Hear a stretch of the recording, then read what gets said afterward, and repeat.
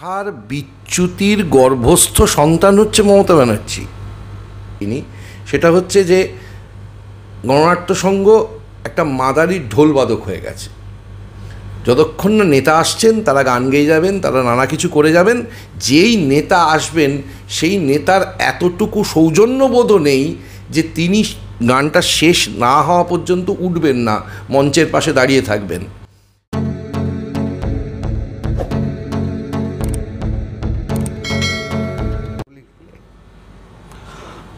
আমাদের সেই কান্না নিয়ে গান ধরেছেন বারেগুলাম আর চন্দন সেন মানেই এক ব্যতিক্রমী জীবন নাটক মানে যে পঞ্চম বেদ সেই পঞ্চম বেদের সঙ্গে সিনেমা রাজনীতি সব মিলে মিশে এক অদ্ভুত মায়া মায়া রূপকথা এক লড়াইয়ের রূপকথার সঙ্গে আজকে আমরা কথা বলছি। প্রথমেই চন্দনদা আপনাকে স্বাগতম কথা নমস্কার। একটা কথা দিয়ে আমরা শুরু করি সেটা হচ্ছে যে ব্রহ্মা নাটককে পঞ্চম বেদ বলেছিলেন। আজকে যখন আমরা দেখি জাহাঙ্গীরপুরীর এরকম একটা ঘটনা ঘটলো, অরবিন্দ কেজরিওয়াল বলছেন, ভারতবর্ষে সব থেকে বড় উচ্ছেদ, তেষট্টি হাজার মানুষ উচ্ছেদ হয়ে গেছেন। এবং তার সাথে সাথে আমরা দেখছি নিউ ইকোনমিক লিবারালাইজেশন পলিসি ভয়ঙ্করভাবে আজকে নাটকের কন্টেন্টকেও ভীষণভাবে যেন কিছু বলার নেই জায়গায় নিয়ে যাচ্ছে। সেই জায়গায় দাঁড়িয়ে একজন নাট্য ব্যক্তিত্ব হিসেবে আজকের চ্যালেঞ্জটাকে কীভাবে দেখছেন? চ্যালেঞ্জটাকে দেখার তো কিছু নেই। পরিষ্কার একটা বিষয় হচ্ছে যে একটা সারা বিশ্বব্যাপী একটা চূড়ান্ত মরে যাওয়া মানে ক্যাপিটালিজম ইজ ডেড এটাও পশ্চিমের মানুষরাই বলেন, যে দেশে তথাকথিত ক্যাপিটালিস্ট সোসাইটি বলেন, সে দেশেই, সে দেশেরই মানুষ বলেন ক্যাপিটালিজম ইজ ডেড তার কারণ হচ্ছে যে ক্যাপিটালিজমের মূল কথা ছিল হচ্ছে যে অনেক প্রডিউসার থাকবে, তারা প্রডিউস করবে, প্রতিযোগিতা করবে, তাতে ভালো মাল দেওয়ার চেষ্টা করবে, তাতে বাজারে দাম কমবে। ফলত আদতে আদতে লাভ মানুষের লাভ হবে, ভোক্তার লাভ হবে। সেখান থেকে দাঁড়িয়ে এবং ব্যক্তিগত সম্পত্তির হিসেবে। এই ইন, আজকেই ওয়াশিংটন পোস্ট একটি লেখা বার করেছে যে এআই কি করে সমস্ত ভাবনার বিরুদ্ধে চলে যাচ্ছে? অথচ চায়না এবং অন্যান্য কিছু দেশে সেখানে কি করে এআইকে ব্যবহার করে মানুষ এবং সমাজের কল্যাণে লাগানো যাচ্ছে সেটা আজকেই একটা ওয়াশিংটন পোস্টের নিউজ, বড় নিউজ আর কি। অনেকটা বড় জায়গা নিয়ে ওয়াশিংটন পোস্ট লিখেছে। এই দেশটা এই মুহূর্তে সর্বরকমভাবে সে আপনি বইয়ের ভাষায় বলুন, সাধারণ মানুষের জীবনের অভিজ্ঞতায় বলুন সর্বরকমভাবে চূড়ান্ত স্বৈরাচারী, একনায়ক ইংরেজিতে যাদের বলা হয় ফাসিস্ট সেই সমস্ত সমস্ত ফাসিস্টের দখলে চলে গেছে এবং গোটা দেশটাকে, গতকালের খবর হচ্ছে চৌষট্টি হাজার লক্ষ কোটি টাকা, যা সাধারণ মানুষের টাকা সেটা এই সরকার রাইট অফ করে দিয়েছে। জানিয়ে দিয়েছে যে আর পাওয়া যাবে না। এবং যে আঠাশ জন লোক এই টাকাটা নিয়েছে, তাদের মধ্যে ছজন লোক বিদেশের বিভিন্ন জায়গায় দাঁড়িয়ে, কোর্টে দাঁড়িয়ে বলেছে যে এই টাকাগুলোর মধ্যে আমরা কেউ তার মানে তেরো পার্সেন্ট পেয়েছে, কেউ চব্বিশ পার্সেন্ট পেয়েছে, কেউ বারো পার্সেন্ট পেয়েছে, বাকি টাকাটা বিজেপিকে দিতে হয়েছে।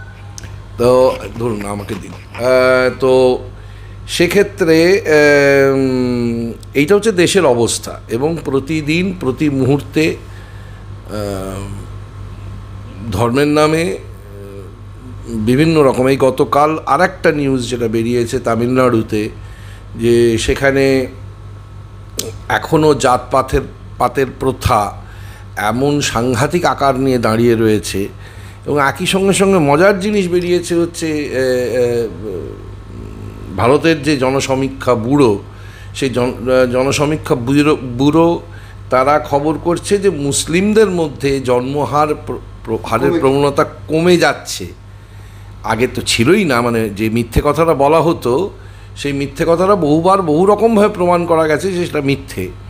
আদতে একটা সাংঘাতিক সন্ত্রাস চলছে সর্বত্র, কি রাজ্যে, কি কেন্দ্রে, কি বিভিন্ন রাজ্যে। এইটাই বর্তমান অবস্থা। এর পার্সপেক্টিভে দাঁড়িয়ে মানুষ কীভাবে ভাববে, একজন সাধারণ মানুষ, চিন্তাশীল হতে হবে তার কোনো মানে নেই। সাধারণ মানুষ কীভাবে ভাববে, এটা খুব স্পষ্ট। একটা অন্য জায়গায় আমাদের চন্দনবাবু নিয়ে গেলেন এবং এখান থেকে আরেকটা জায়গায় যাব, এই সন্ত্রাসের প্রসঙ্গ ধরেই। যে এক সময় তিনি ক্রিকেট খেলতেন এবং এক নাটক করতেন নান্দিকারে সেই সময় ছিলেন। সেই সময় রুদ্রপ্রসাদ শ্রদ্ধেয়। তিনি বলেছিলেন চন্দন সেনকে think that you are not a genius take that you are not a genius ফলে আপনি যখন একটু নিচু অবস্থায় আছেন যখন আপনাকে কেউ চেনে না তখন রুদ্রপ্রসাদের মতো একজন ইন্টেলেক্টও এটা কি একভাবে একটা নিপীড়ন ছিল না এভাবে একটা সন্ত্রাস ছিল? না না না না এসব কিচ্ছু ছিল না। না কোনো হেজিমনি টেজিমনি কিচ্ছু না। একজন শিক্ষক হিসেবে বুঝেছিলেন যে আমার সীমাবদ্ধতাটা কোনটা কোথায়। এটাকে হেজিমনিও নয় সন্ত্রাসও নয় কিচ্ছু নয়। আমি ব্যর্থ হয়েছিলাম। কেন ব্যর্থ হয়েছিলাম? শরীর দিচ্ছিল না। দুদিন ধরে খেলা চলছিল তখন আমাদের সময় তিন দিনের ম্যাচ হতো লিগের ম্যাচ। কলকাতা মাঠে ক্রিকেট ম্যাচটা তিন দিনের ম্যাচ হতো। আপনি ব্যাটসম্যান ছিলেন? না আমি জোরে বল করতাম। হ্যাঁ জোরে বল করতাম এবং মাঝখানে ব্যাট ব্যাট করতাম। তো এসব কিচ্ছু ছিল না। একজন শিক্ষক খুব স্পষ্ট করে তার ছাত্রকে বুঝিয়েছিলেন যে তার দুর্বলতার জায়গা কোনটা। সিএলআর জেমসের বিয়ন্ড দ্য বাউন্ডারিতে আমরা একটা অদ্ভুত ছেলেকে খুঁজে পাই যে কিনা দুরন্তভাবে যার খেলাটা আমরা একজন ভদ্রমহিলা দেখতেন জানলা দিয়ে। সে অসাধারণ ব্যাট করতো, পরে সে হারিয়ে গেল। ওই জীবনানন্দ বলেছিল না, যে শালিক ঝড়ে মরে যায়, সে ফিরে নাহি আসে। সেরকম জায়গা থেকে চন্দন সেনেরও তো একভাবে হারিয়ে যাওয়ারই কথা ছিল কারণ আপনি বলছেন শুটিংয়ের দিন গাড়ি এলেও সবাইকে তুললো, আপনাকে তুললেন না। আপনি তাহলে সেই ঝড়ে হারিয়ে যাওয়া শালিক থেকে আজকে চন্দন সেন হয়ে উঠলেন কীভাবে? মূলত আমার মায়ের কারণে। আমার মা যদি প্রতিনিয়ত আমাকে তিনি এককভাবে মানুষ করেছেন। তো প্রতিনিয়ত যদি তিনি না ঘরে, বাইরে কাজ করে আমাকে সাহায্য না করতেন, উৎসাহ না দিতেন, তাহলে আমিও আর আর পাঁচটা ছেলের মতো এতদিনে কোনো একটি দোকানে কাজ করতাম বা কোনো একটা অফিসের কাজ করতাম, পিয়ন হতাম বা কিছু একটা হতাম। কিন্তু আমার মা আমার মা তিনি নিজে অসুস্থ হয়ে খুব সামান্য রোজগারে ক্রমাগত আমাকে উৎসাহ দিয়ে গেছেন। একই সঙ্গে সঙ্গে খুব বড় বড় দলে মানে বাংলাদেশের সবকটা বড় বড় ডিরেক্টর মানে থিয়েটার ডিরেক্টরের প্রধান দলে এবং ইয়েতে প্রধান চরিত্রে অভিনয় করে আবার অফিস ক্লাব করে আমাকে মানুষ করার জন্য অফিস ক্লাবটা নাও পড়তে পারতেন। কিন্তু শুধুমাত্র আমাকে মানুষ করার জন্য আমার যাতে খাওয়াটা ভালো হয় আমার যাতে বই পড়াটা হয় আমার যাতে আমি যাতে আহ, চাকরি করতে না চেয়েও আমার নিজের মতো করে একটা কিছু ভাবতে পারি শুধুমাত্র আমার জন্য। সেইটা করেছেন বলেই আমি আপনারা কি বলছেন? আমি জানি না আমি আজ আজকেও খুব একটা হ্যাঁ কিছুটা পরিচিত তো হয়েছি, না হলে আপনি আমার ইন্টারভিউ নিতে আসবেন কেন? কিন্তু সেটা একমাত্র আমার মায়ের কারণে। আমরা কথা বলছি, এবার আবার একটু রাজনীতির দিকে যাব এবং থিয়েটার আর রাজনীতির সম্পর্কে ধরার চেষ্টা করব। অনেকদিন আগে সফদার হাসমি একটা নাটক করেছিলেন ম্যান অ্যান্ড মেশিন যেখানে আমরা দেখছিলাম যে ক্রমশ ক্রমশ মানুষ মেশিন হয়ে যাচ্ছে, যেটা একটু আগে আপনি বললেন। এবং তার সাথে সাথে যদি আগস্টা বয়েলের আমরা থিয়েটার অফ রেজিস্ট্যান্সও দেখি, সেখানে আমরা দেখছি সাধারণ মানুষও থিয়েটারের পার্টিসিপেন্ট হয়ে উঠছেন, থিয়েটার একটা নতুন জায়গায় যাচ্ছে বা আজকে পিটার হ্যান্ডকের যুগ এসে গেছে। তাহলে বাংলা থিয়েটার এখনও কেন শুধু পড়ে রয়েছে হ্যামলেটে? এই সম্পর্কে আপনার কি মতবাদ? প্রথমত বাংলা থিয়েটার শুধুমাত্র হ্যামলেটে পড়ে থাকেনি বা নেইও। বাংলা থিয়েটার আরও হ্যান্ডকেদের যে এক্সপেরিমেন্ট বা থিয়েটার অফ রেজিস্ট্যান্সের যে এক্সপেরিমেন্ট সেগুলো কি আদৌ আসছে আপনাদের থিয়েটারে না আমি আপনি যদি আমার প্রশ্ন করেন তাহলে আমি একটাই কথা বলব যে আমি পাবলিক থিয়েটার করি। তার সঙ্গে সঙ্গে অবশ্যই অব- আমরা মাঝে মধ্যে রাস্তাতেও থিয়েটার করি বা আমরা অন্য কোনো রকম জায়গায় থিয়েটার করি। আমরা যেটাকে ভীষণভাবে মনে করি বিভিন্ন জায়গায়। মানে যেমন সেটা মন্দির চাতাল হতে পারে, সেটা বাজার হতে পারে, সেটা আবার একটা স্কুল বাড়ি হতে পারে, স্কুলের মাঠ হতে পারে অফিস বিল্ডিং হতে পারে, যেখানে হোক। একটা থিয়েটার করার জন্য একটা জায়গা লাগে আর দর্শক লাগে। কিন্তু সেই যেখানে আপনি অভিনয় করছেন, সেটা তার পুরোটা ব্যবহার করে করতে পারছেন কি না সেটা হচ্ছে খুব জরুরি কথা। কিন্তু আপনি যে থিয়েটারের কথা বলছেন, সেই থিয়েটার দীর্ঘদিন ধরে বাদুতে সঞ্জয় দা, সঞ্জয় গাঙ্গুলি তিনি করে চলেছেন বিরাট আকারে করে চলেছেন। মানে সত্যি কথা বলতে কি, বাংলা থিয়েটারের তরফ থেকে যদি বলতে হয়, তাহলে বাংলা থিয়েটার তার কাছে ভীষণভাবে কৃতজ্ঞ। আবার সাধারণ মানুষের জীবনযাত্রার মানের উন্নয়নের জন্য, সংগ্রামের জন্য, তাদের অধিকার বোধ তৈরি করার জন্য, অধিকার আছে, সেটা তারা জানেন না, যে তাদের কি কি অধিকার আছে। সেই অধিকার বোধ তৈরি করার জন্য, আইনি বোধ তৈরি করার জন্য উনি ক্রমাগত করে চলেছেন এবং তার সাথে সাথে আরও কিছু কিছু দল আছে যারা করে চলেছে। করছে না তা নয়, করছে সারা পশ্চিমবঙ্গ জুড়েই নানান রকমভাবে কাজকর্ম হচ্ছে। আনন্দবাজারে স্বাভাবিকভাবে এগুলো কখনো প্রকাশিত হয় না। আয়। আনন্দবাজারে স্বাভাবিকভাবে এগুলো প্রকাশিত হয় না, কিন্তু সারা পশ্চিমবঙ্গ জুড়েই প্রচুর লোক প্রচুর রকম কাজ করে চলেছে। থিয়েটারে কেউ বসে নেই, আর থিয়েটার অফ রেজিস্ট্যান্স আমি উৎপল দত্তের ছাত্র, আমার দুই গুরু রমাপ্রসাদ বণিক এবং Utpal Dutta. Theatre of resistance, Utpal Dutta পশ্চিমবঙ্গে গণনাট্য সংঘের যে ধারা বা তারও আগে গিরিশবাবুরা যে ধারা তৈরি করতে পেরেছিলেন থিয়েটার অফ রেজিস্ট্যান্স তৈরি করতে পেরেছিলেন থিয়েটার অফ রেজিস্ট্যান্স তো শুধুমাত্র সরাসরি রাজনীতি করলেই থিয়েটার অফ রেজিস্ট্যান্স তৈরি হয় না। রবীন্দ্রনাথ যে থিয়েটার অফ রেজিস্ট্যান্স তৈরি করে গেছেন সারা জীব- জীবন ধরে তার লেখায়, নাটকে অত্যন্ত আধুনিক উপায়ে থিয়েটার অফ রেজিস্ট্যান্স তৈরি করে গেছেন। তো সুতরাং থিয়েটার অফ রেজিস্ট্যান্স চলছে। তার মতো করে সময়ের মতো করে। একটু একটু রিজয়েন্ডার দিচ্ছি। যেমন আগস্ট বয়েলের থিয়েটারে আমরা দেখছি একটা পার্কে আপনিও পার্কে থিয়েটার করছিলেন। একটা পার্কে থিয়েটার হচ্ছে তারা একটা বিষয় তুলে ধরছেন এবং একটা সময় যে জনগণ পার্কে সাধারণ জনগণ বসে রয়েছে তাদের তারা থিয়েটার অ্যাক্টিভিস্ট তৈরি করে বলছেন সলিউশনটা দাও। আদেও কি আমরা এরকম থিয়েটারে পৌঁছতে পেরেছি? মানে সমস্ত কিছুকে স্যালুট করেই বলছি। আহ, অগুস্ত বোয়ালের থিয়েটার সঞ্জয় গাঙ্গুলি করেন জননাট্য মঞ্চ যারা করেন, তারা তারা সেটাই করেন। এবং আগস্ত বোয়ালের ভারতবর্ষে কেন গোটা বিশ্ব জুড়ে যদি উত্তরসূরি হিসেবে কাজ করার বিষয় থাকে, তাহলে সেটা সঞ্জয় দাই করে চলেছেন দীর্ঘদিন ধরে, আজ এক দু বছর নয়। তো সেটা তো একটা আছেই, সেটা তো বড় কথা নয়, কিন্তু আমি আবার বলছি, এই একই ধারার থিয়েটার করতেই হবে। বা একই রকমভাবে থিয়েটার করতে হবে, তার তো কোনো মানে নেই। তবে হ্যাঁ আপনার সঙ্গে আমি সহমত পোষণ করে বলতে পারি যে আগস্ত বল যে থিয়েটারটা শুরু করেছিলেন, সেই থিয়েটারটা ভারতবর্ষে আরও বেশি বেশি করে ছড়িয়ে পড়া জনসংস্কৃতি একমাত্র দায় নেই। জনসংস্কৃতি মানে সঞ্জয় তাদের একমাত্র দায় নেই। এই দায় আরও বহু মানুষের, তারা সেটা কতদূর গ্রহণ করবেন সেটা তাদের ব্যাপার। তবে একই সঙ্গে সঙ্গে বলব, আমাদের এই একাডেমি কেন্দ্রিক নাট্যচর্চা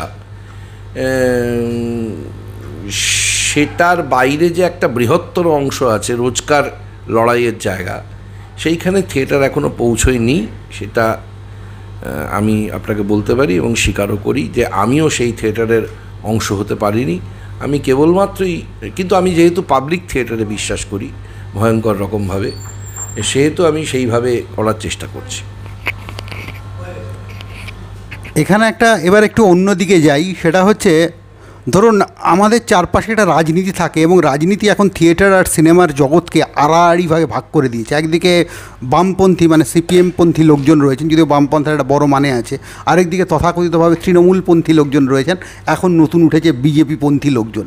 কিন্তু এই আড়া, আমরা দেখি যে কোনো ফিলোসফিক্যাল ডিবেটের ভেতর দিয়ে, আমি ফিলোসফিক্যাল ডিবেটকে সবচেয়ে স্বাগত জানাই, থিয়েটার অনেক উন্নত হয়, সিনেমার ভাষায় বদলায়, কিন্তু আদেও এই বিভাজনগুলো কি নতুন কোনো ভাষা আনতে পেরেছে? দেখুন, প্রথম কথা হচ্ছে এ বিভাজন নতুন নয়। এ বিভাজন বহু পুরনো। যতদিন মানুষের সমাজ ব্যবস্থা আছে এবং পৃথিবীতে যতগুলো মতাদর্শ এসেছে, সেই প্রত্যেকটি মতাদর্শের নিজস্ব নিজস্ব এই সমস্ত বিভাজন থেকেছে। কারণ সমাজের বুকে সেই সমস্ত সংঘাত থেকেছে এবং তার পক্ষ বিপক্ষ নিয়েছে প্রতি মুহূর্তে মানুষ। আজকের এই তথাকথিত তৃণমূল, বিজেপি বামপন্থী আপনাকে ধন্যবাদ যে শুধুমাত্র সিপিআইএম মানেই বামপন্থী নয়, এই ভাবনাটা ভাবার খুব দরকার আছে। হ্যাঁ সিপিআইএম একটা বড় দল বটে এবং অনেক বেশি সংগঠিত সংগঠিত হতে পেরেছেন তারা সরকারে থাকার ফলে। কিন্তু এবং আজকে সরকারে না থেকেও অনেকটা সংগঠিত হয়ে রয়েছেন, সেটা খুব সত্যি কথা। কিন্তু তার মানে তো একমাত্র বাম মানে বামপন্থী দল বলতে রাজনৈতিক দল বলতে সিপিআইএমকেই বোঝায় না, আরও অনেক দল আছে। এটা হচ্ছে এক নম্বর। তো শেখা সেক্ষেত্রে এই সমস্ত থিয়েটার আড়াআড়িভাবে ভাগ হয়ে রয়েছে। যারা মনে করেছেন যখন সিপিআইএম ছিলেন, ছিল এখানে ক্ষমতায়, তখন প্রচুর লোক তারা সরকারের পক্ষে থাকতো, সরকারের হয়ে কথা বলতো। সরকার আমরা যেমন বলিনি, আমরা আমাদের এমন চারটে নাটক আছে, যে চারটে নাটক যখন বাম জমানার খুব ঘোর সময়, তখন আমরা বলিনি, আমরা তার বিপরীত কথাই বলেছি, যে অন্যায়গুলো হচ্ছিল, যে বিচ্যুতিগুলো হচ্ছিল, সেই বিচ্যুতিগুলোর প্রতি আঙুল দেখিয়ে বলেছি। কারণ আমার নিজের মনে হয়েছে যে যদি এই বামপন্থী মতাদর্শেই থাকতে হয়, বিচ্যুতিগুলোকে একটু যদি তুলে ধরেন, যে যে আঙুল দেখিয়েছিলেন। আমরা যেমন একটা নাটক করেছিলাম যে নাটকটার বিষয়বস্তু ছিল হচ্ছে আমি নাটককার আমার বিরুদ্ধে তিনি খুবই সরব ছিলেন পরবর্তী ক্ষেত্রে, শঙ্করবাবু। আমরা দরদি বলে একটা নাটক করতাম, নামটাও আমরাই ঠিক করি। অনেক পার্টি দরদি মারা যায় বলে গণশক্তিতে তখন দেওয়া হতো তো। তো আমরা একটা শব্দ ধার করেছিলাম ইস্তেহার থেকেই। ভূত দেখছে ইউরোপ কমিউনিজমের ভূত দেখছে। হ্যাঁ তেমনি আমরা এখানে করেছিলাম যে একজন তথাকথিত কমিউনিস্ট পার্টির নেতা তথাকথিত কমিউনিস্ট পার্টির নেতা সে তিনি ভূত দেখ- দেখেন রাত্রিরে ঘুমোতে পারেন না। তার কারণ তার যে কমিউনিস্ট নেতা সে মাঝে মাঝে আসে এসে বলে এগুলো কি করছিস? তোর কি এই এইটাই করার কথা ছিল? বিষয়বস্তুটা ছিল যে একটা কবরখানা সেটা দখল করে নিয়ে সেখানে মাল্টি স্টোরিড বিল্ডিং হচ্ছে। তো সেই বর্তমান জীবিত নেতা, সে তাকে, এসে বলতে চায় যে এই নেতা কিন্তু চোর নয়। মানে যে যে যে সিপিএমের সে এমএলএ সে চোর নয়। সে শুধু বলার চেষ্টা করছে, আমার এরিয়ায় আমার ছেলে মেয়েদের একটু উন্নতি হবে, তারা রড, সিমেন্ট, বালি ইত্যাদি ইত্যাদি তারা বিক্রি করতে পারবে, সাপ্লাই করতে পারবে। তো তার বদলে যে বর্তমান নেতাটি, তিনি বলতে থাকেন যে, কেন এখানে একটা ছোট শিল্প তৈরি হতে কি অসুবিধা? ছোট ছোট ছোট কারখানা হতে পারতো।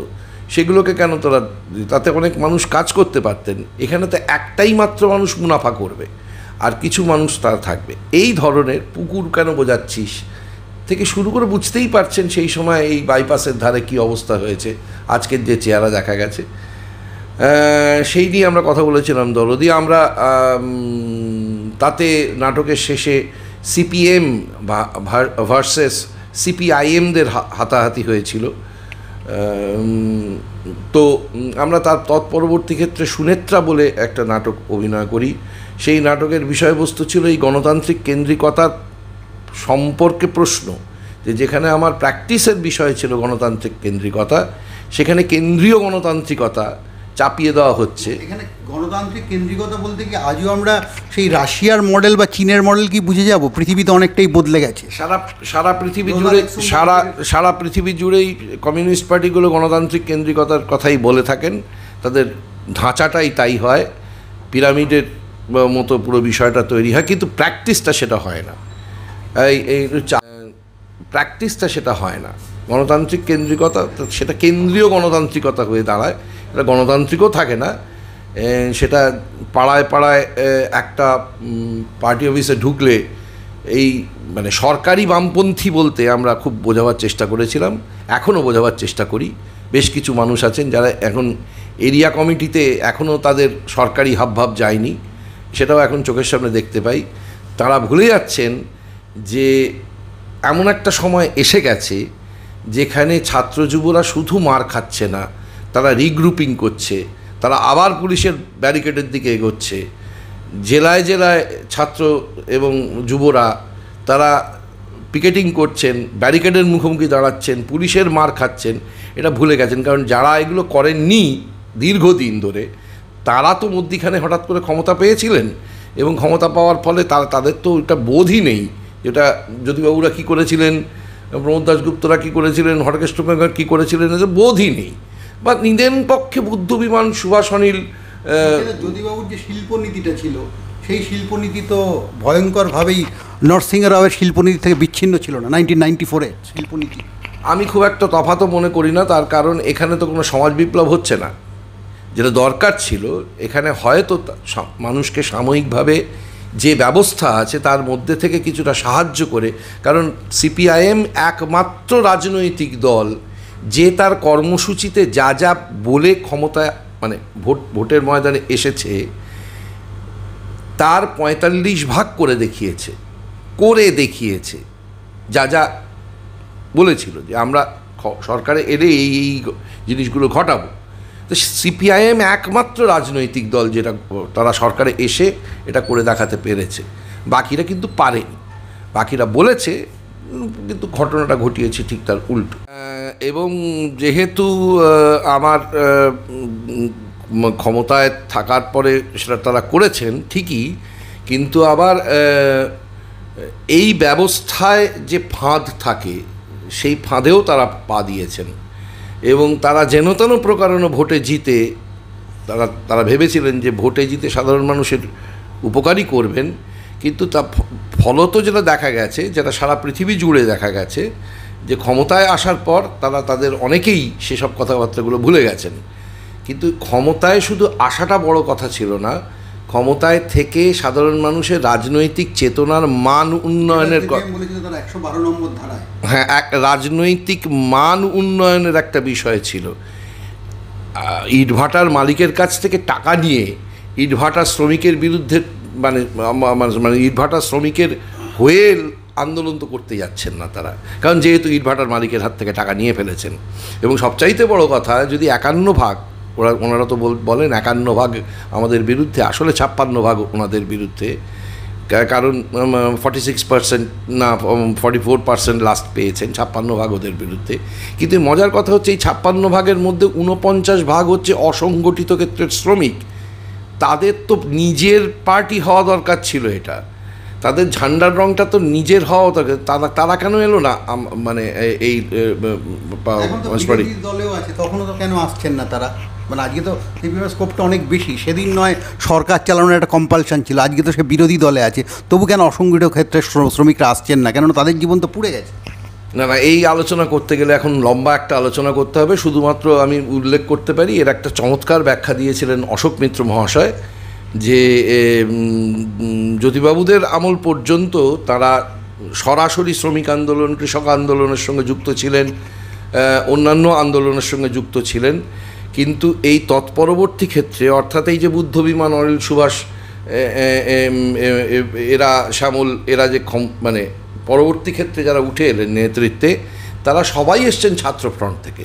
তারা কেউ কৃষক ফ্রন্ট থেকে আসেননি, তারা কেউ শ্রমিক ফ্রন্ট থেকে আসেননি।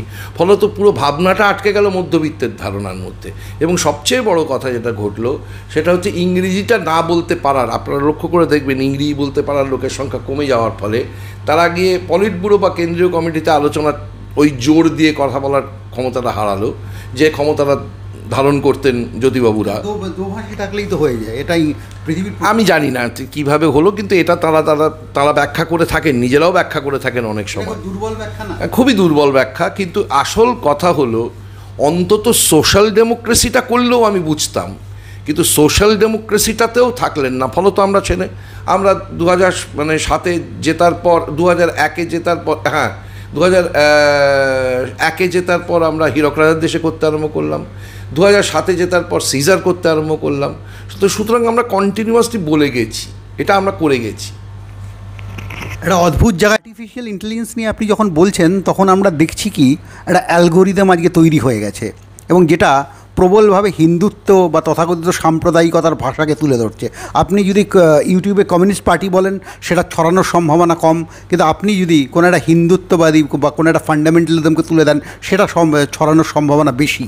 এবং তার সাথে সাথে আজকে আমরা চারপাশে যে সিনেমাগুলো দেখছি, সিরিয়ালগুলো দেখছি, সেখানে দেখছি ক্রমশ গরিব এবং প্রান্তিক মানুষকে হেয় করে দেওয়া হচ্ছে এবং তার সাথে সাথে একটা, কি বলব, হিন্দু নব হিন্দুত্ববাদী প্রকরণগুলো মানে ভারতবর্ষের কোনো সিনেমায় আমি কোনো মুসলমানের জীবন সচরাচর খুঁজে পাচ্ছি না।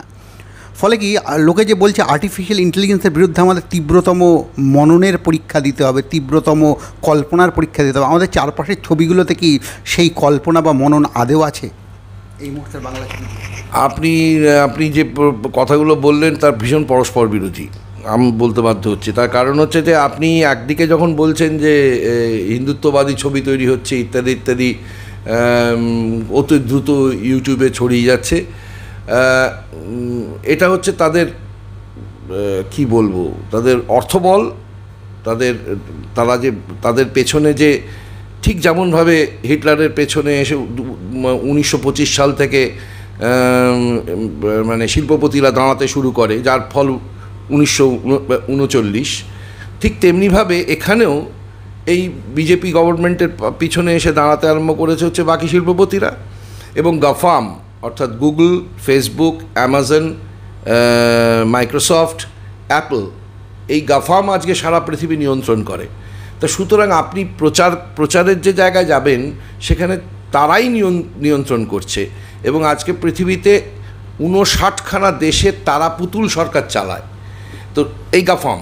তো সুতরাং আপনি যদি এই রাজনীতিটা আপনার কাছে খুব স্পষ্ট না হয়, আপনি যদি বাকি লোক, লোকের কাছে কি সেটা স্পষ্ট করতে না পারেন, আবার একই সঙ্গে সঙ্গে এই ভারতবর্ষের বুকে এই রকম একটা তথাকথিত যখন আপনি এআই নিয়ে কথা বলছেন, তখন কিন্তু সেই পুরনো সিপাহী বিদ্রোহের আমলে যা ঘট- ঘটেছিল, আবার প্রমাণ করে দিল এই এই এই কৃষি, কৃষক আন্দোলনে যে যখন সবটা বন্ধ করে দিয়েছে ওরা ওই রাডার দিয়ে যে কেউ কোনো ফোন করতে পারছে না, বাইরে কোনো খবর যেতে পারছে না। তখন সবচাইতে মানে এই যে যে ভদ্রলোক একটা সময় মুসলিমদের বিরুদ্ধে দাঙ্গা সংগঠিত করেছিলেন, তিনিই তো আবার কৃষক আন্দোলনের নেতৃত্বে দাঁড়িয়েছিলেন। সেই পশ্চিম উত্তর প্রদেশ থেকে কিন্তু রাতারাতি শুধু মানে মসজিদের মাইক্রোফোন থেকে ঘোষণা করে করে করে করে করে করে সবাইকে বলা গেছে। সুতরাং সবসময় মানুষ যদি চায়, তাহলে সে তার মতন করে রাস্তা খুঁজে নেবেই।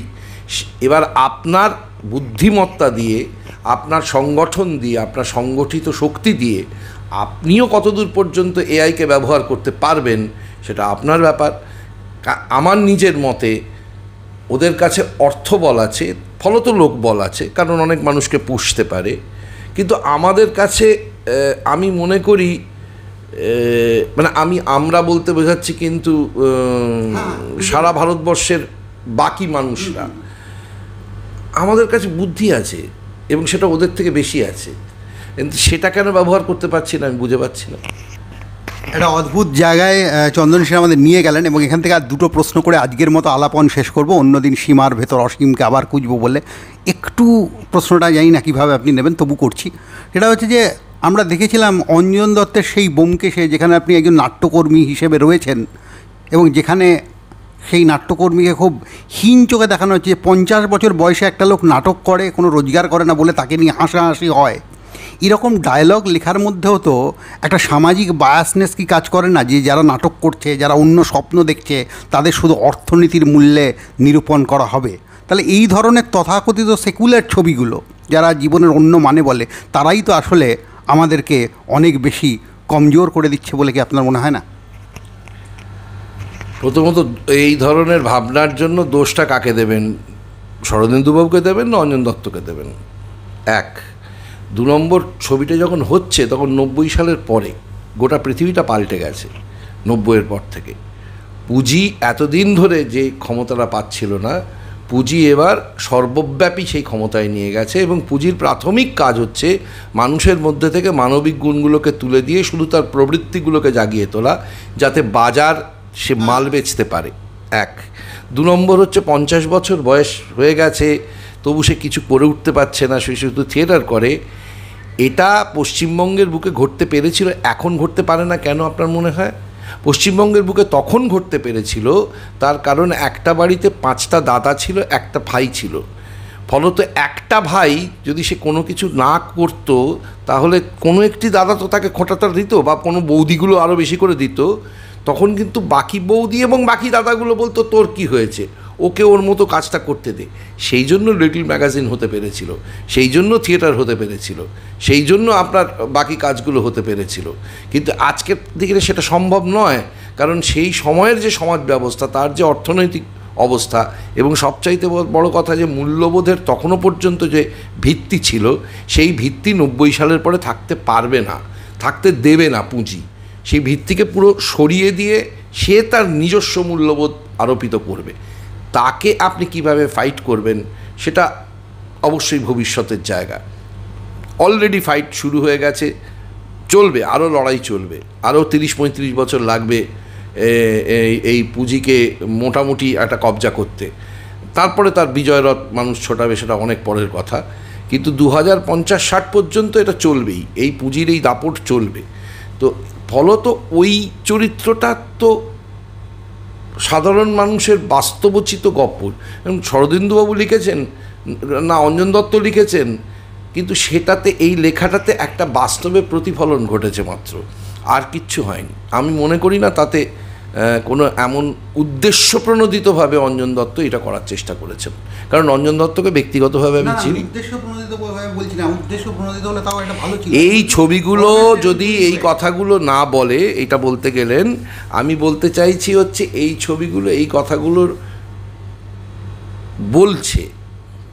কিন্তু আপনারা যেভাবে চাইছেন মানে আমি আমাকে শিশির সেন যখন জীবিত ছিলেন, শেষ যখন সভাপতি ছিলেন, তখন তিনি প্রশাস, প্রকাশ্য সমাবেশের আগে গণনাট্যের যে সারা দেশব্যাপী কনভেনশন হয় তার শেষ বক্তা হিসেবে আমাকে ডেকেছিলেন। ওরা বাইরে থেকে একজন কাউকে ডাকেন তো। তো আমি ভেবেছিলাম আমি মারধর খাব, কিন্তু তা হয়নি, কারণ তথাকথিত সোভিয়েতের মতন প্রেসিডিয়াম সিস্টেম, তা যা বসে আছে সবই আমার কাকা যারা মামা বসে আছেন। তো যাই হোক মানে যাদের আমি আমার শৈশবে কাকা যারা মামা বলে রাখতাম। আশ্চর্যের ব্যাপার, তারা এখনও বসে আছেন। সেটা দেখি আমার আরও মেজাজটা আরেকটু খিচড়ে খিচড়ে গেল আর কি। তো যাই হোক আমি আশা করিনি তারাই থেকে যাবেন। বদলে আমি নতুন প্রচুর মানুষকে দেখব, এটা আশা করেছিলাম। তো আমি সেই প্রকাশ্য জনসভায় দাঁড়িয়ে একটা কথা বলেছিলাম যে আপনারা নিজেরা বেছে নিয়েছেন, আপনারা রাজনৈতিক দলের সদস্য হিসেবেই সংস্কৃতি করবেন। ফলত রাজনৈতিক দলের সদস্য হিসেবে এবং রাজনৈতিক দলের কৌশল হিসেবে আশুর রাজনৈতিক যে কর্মসূচি, সেটা আপনাকে পালন করতে হবে। অর্থাৎ আপনার চার দিন আগে আপনার দল আপনাকে বলেছে, না, এখন এইটা পরিস্থিতি। আপনি ঝাঁপিয়ে বললেন নাটকটা নিয়ে, এইটা পরিস্থিতি। চার দিন বাদে বলল, না না, সেটা একটা ঐতিহাসিক ভুল হয়ে গেছে। না না, এখন আপনারা, আমরা এইটা বলব। তখন আপনি আবার ব্যাক করে এসে বললেন, না না, এইটা বলব। কিন্তু সবচাইতে বড় অপমানজনক ঘটনা ঘটিয়েছেন সাতাত্তর পরবর্তী অবস্থায়, যা আমি আমার শৈশবে দেখিনি, অন্তত চৌ, পঁচাশি অবধি দেখিনি। সেটা হচ্ছে যে, গণনাট্য সংঘ একটা মাদারির ঢোলবাদক হয়ে গেছে। যতক্ষণ না নেতা আসছেন, তারা গান গেয়ে যাবেন, তারা নানা কিছু করে যাবেন, যেই নেতা আসবেন, সেই নেতার এতটুকু সৌজন্যবোধও নেই যে তিনি গানটা শেষ না হওয়া পর্যন্ত উঠবেন না, মঞ্চের পাশে দাঁড়িয়ে থাকবেন। গানের মাঝখানেই তিনি ঢুকে পড়েন এবং বাকিরা চিৎকার করতে থাকেন, অমুক নেতা জিন্দাবাদ ইত্যাদি ইত্যাদি গণনাট্য সঙ্গের লোকেরা গান মাঝপথে নামিয়ে থামিয়ে চলে যায়। তো সেটা তো এক ধরনের গণনাট্য সঙ্গের এই লোকজনকে তো তো মানে মানে মাতারির ঢোলবাদক করে দেওয়া হয়েছে। তাই ভেবেছিলাম মারধর খাব তাতে উল্টে দেখতে পেলাম যে প্রচুর পরিমাণে লোকজন সমর্থন করছে। বুঝতে পারলাম এটি অবস্থা। বার্টেল ব্রেক্ট বলেছিলেন, চোখের জল ডান দিক থেকে নেমে বাঁ দিকে যায়। আজকের সামগ্রিক পরিবেশে এই বামপন্থী দিকটাকে আপনি কীভাবে খুঁজে পাচ্ছেন? সর্বস্তরে। সমাজের সব স্তরে ছেলে মেয়েদের চোখে মুখে। আমি যখন দেখতে পাই জয়পুরে রাজস্থানের একটা ওরকম জায়গায়, সেখানে কিছু ছেলে মেয়ে রাস্তার মোড়ে দাঁড়িয়ে গান গেয়ে থিয়েটার করছে। আমি যখন মানে এটা জয়পুর, ভুলে গেলে চলবে না। যেখানে চূড়ান্ত সামন্ত ব্যবস্থা রয়ে গেছে। আসলে আমাদের গ্রামগুলোতে যে যে পরিমাণ সামন্ত ব্যবস্থা রয়ে গেছে, সেই পরিমাণ সামন্ত ব্যবস্থার বিরুদ্ধে দাঁড়িয়ে যে যে ভাবে সংগঠন তৈরি করার কথা ছিল আমাদের কমিউনিস্ট পার্টিগুলো ব্যর্থ হয়েছে। এবং ব্যর্থ হয়েছে নিজেদের মধ্যে মতাদর্শের সংঘাত নামক এক অদ্ভুত যা আমার মাথায় ঢোকে না। আমি যেটা আমি আমি আমার নেতা আমার আমি আমি তাকেও নেতা বলে মনে করি।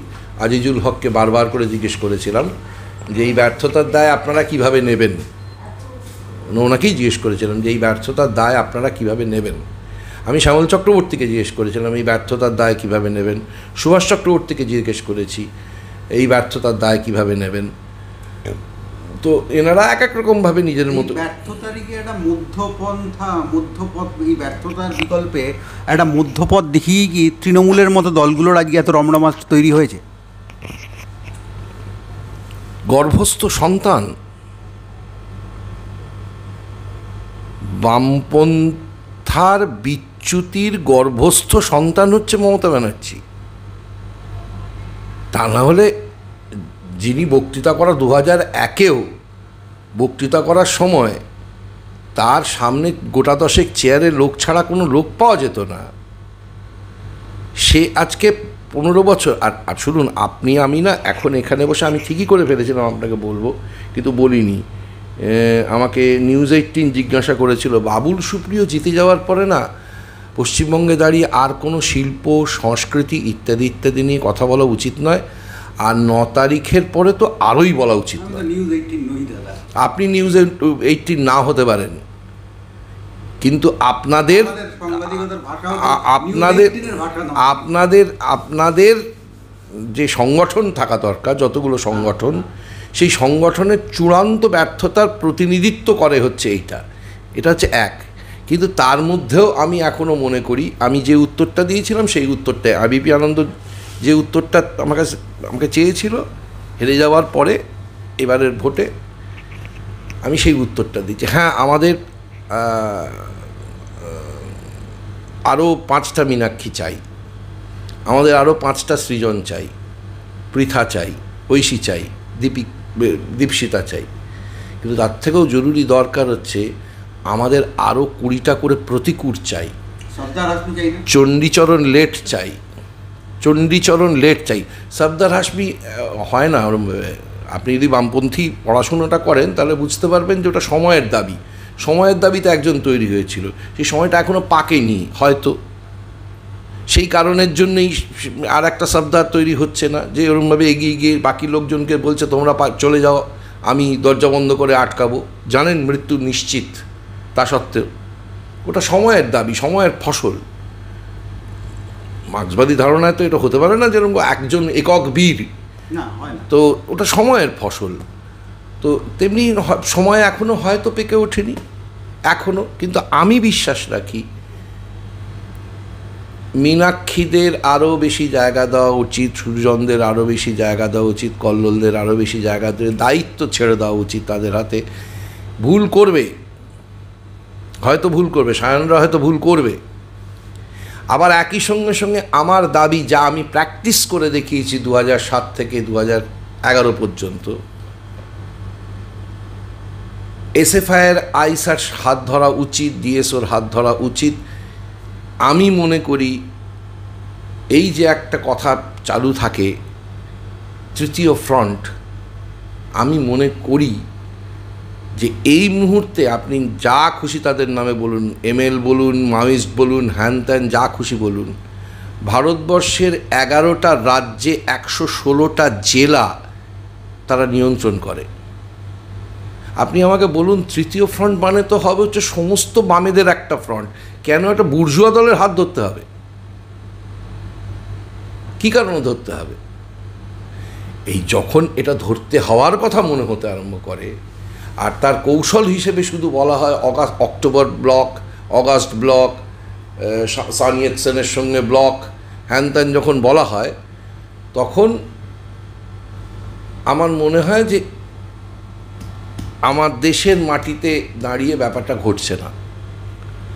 তার কারণ আমার দেশের মাটিতে দাঁড়িয়ে জাতপাত ভাবনার বাইরে গিয়ে আপনি কিছু করতে যাবেন, গেলে সেই শিক্ষায়, রাজনৈতিক শিক্ষায় শিক্ষিত করতে হবে। আপনার যে এখন যে অবস্থা বা তখনও যে অবস্থাটা ছিল, অর্থাৎ একটা মিছিলে কুর্মী একদিকে একদিকে রাজবংশী কিন্তু তারা কখনো মিলেমিশে মিছিল করতে যাচ্ছে না। তারা কখনো এক জায়গায় বসে না। ইলিটটা বাদ দিন না। ইলিটটা তো মানে কে ইলিট ইলিট হাব ভাব করে। কে ইলিট বলুন তো মশাই? জ্যোতি বোস ছাড়া কে ইলিট ছিল? কে ইলিট ছিল? ওই আমাদের যারা তথাকথিত বড় নেতৃত্ব তাদের মধ্যে কে ইলিট ছিল বলুন তো? অর্ধেক লোক খেতে পায় না বাড়ির থেকে এসছে। কোথায় এলিটিজম দেখাবে তারা? হ্যাঁ সুযোগ পেয়েছিল, তাই জন্য পড়াশুনো করার সুযোগ পেয়েছিল। পড়াশুনো, সেই সুযোগটা যদি ওই চণ্ডীচরণ লেট পায়, সেও ওটা করে দেখাতে পারে বা তার সন্তান পারবে। যেটা বারবার করে যেটা আমি বলার চেষ্টা করি, সুযোগ পেয়েছিস বাবু, তুই সেই জন্য এত কথা বলছিস, আগ বাড়িয়ে। এই যদি তো আমি বুঝতাম যে তুই থাকিস বাল্টিকুড়ি হাওড়ায় তারপর সেখান থেকে একটা কিছু যা আজকের তারিখে ক্যাট ম্যাট যারা ক্র্যাক করছে সেই সমস্ত ছেলে মেয়ের কাছ থেকে আমি পাচ্ছি। হয়তো উচ্চারণ তাদের ঠিক নেই দেয়ার ইজ যে কাউ বলছে। কিন্তু মানে ম্যাটটা ক্র্যাক করে দেখিয়ে দিয়েছে ওটা পারেও তার মানে সুযোগ পেলে পারে। সুযোগটা তৈরি করা হয় না এই সুযোগটাই তৈরি করে হচ্ছে বামপন্থা। এই সুযোগটাই তৈরি করে সমাজতন্ত্র। সুতরাং আর এই একটা কথা বলে আপনাকে শেষ কথা বলছি। একটা কমিউনিস্ট পার্টি যখন ভুলে যায় না বিজ্ঞান যে প্রত্যেক ক্রিয়ার সমান এবং বিপরীত প্রতিক্রিয়া আছে এটা যখন একটা কমিউনিস্ট পার্টি ভুলে যায় তখন খুব বিপজ্জনক অবস্থা তৈরি হয় এবং তার প্রমাণ আমরা সারা বিশ্ব জুড়ে পেয়েছি। একটা দুটো জায়গায় নয়। শুধু আমার পশ্চিমবঙ্গ আঙুল দেখালে হবে না। তো কেরালা পারছেন পারছে কী করে? আজকের তারিখে দাঁড়িয়ে? অনেক সফল কেরালা। পারছে কি করে? কেন পারছে? যে কেরালায় সাধারণ মানে মানুষের বক্তব্য হচ্ছে দশ বছরের বেশি তোকে রাখব না রে বাবু তুই কারাপ্টেড হয়ে যাবি। তো সেই কেরালায় পারছে কি করে বসে? কারণ মানুষকে সেটা কোথাও না কোথাও সেই জায়গাটা মানুষ চোখের সামনে দেখছে। চূড়ান্ত কেরালায় ডাউরি ডেথের পরিমাণও সবচেয়ে বেশি। শুধু ডাউরি ডেথ কেন? শুধু ডাউরি ডেথ কেন? কি পরিমাণ জাতপাত কি পরিমাণ ব্রাহ্মণত্ব? ব্রাহ্মণবাদী মানুষের সংখ্যা কি মারাত্মক? যারা গেছেন তারা জানেন। সে সব নেওয়ার পরও তো ছশো দশ টাকা করে দিনমজুরকে দিতে হবে। দিনমজুরের বাড়ি তৈরি হবে। এই সব কিছুর পরেও তো হচ্ছে। ওই মন্দিরে ঢোকা হবে কি হবে না, সেটাকে তো দাঁড় করাতে যাচ্ছে তো একটা জায়গায়। তো করতে হবে, কোথাও না কোথাও করতে হবে। আর আমাদের এখানে আমার নিজের মনে হয়, ওই আবার বলছে আরও দশটা কিংবা কুড়িটা চণ্ডীচরণ লেট দরকার আরও কুড়িটা প্রতিকূল রহমান দরকার। তা না হলে আবার মধ্যবিত্তের হাতে, মধ্যবিত্তের ভাবনা অনুযায়ী, মধ্যবিত্তের দৃষ্টিভঙ্গি দিয়ে যদি আবার আন্দোলন পরিচালিত হয়, তাহলে সেটা করা সম্ভব হবে না। এক আকাশ মুগ্ধতার সামনে আমরা দাঁড়ালাম। সেই কবিতার লাইনটা মনে পড়ল বারবার। সব শুয়োপোকা একদিন প্রজাপতি হবে।